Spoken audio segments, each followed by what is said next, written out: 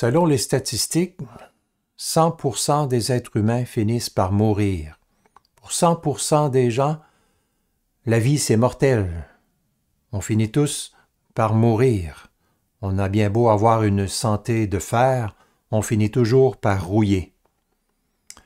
La mort est appelée parfois la grande faucheuse, la grande dévoreuse de l'humanité, la pire ennemie de l'être humain.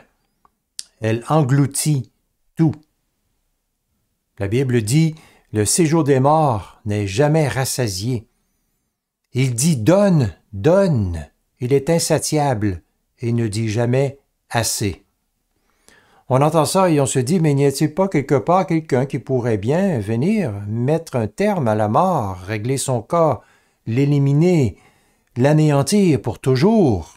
Et à ce grand soupir qui montre en nous, eh bien, la Bible répond oui, il y a quelqu'un qui peut anéantir la mort. Dieu, dans sa parole, promet d'anéantir pour toujours la mort.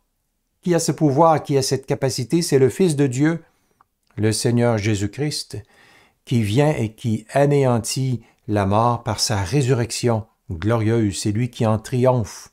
Dans le duel contre la mort, c'est Jésus qui remporte la victoire. Alors que cette grande dévoreuse éliminait des générations de personnes, elle se présente face au Fils de Dieu comme un lion affamé pour le dévorer, mais c'est lui qui remporte la victoire parce qu'il ressuscite des morts, il anéantit la mort pour toujours, et il nous enseigne que quiconque croit en lui va ressusciter d'entre les morts. Quelle bonne, grande, merveilleuse nouvelle.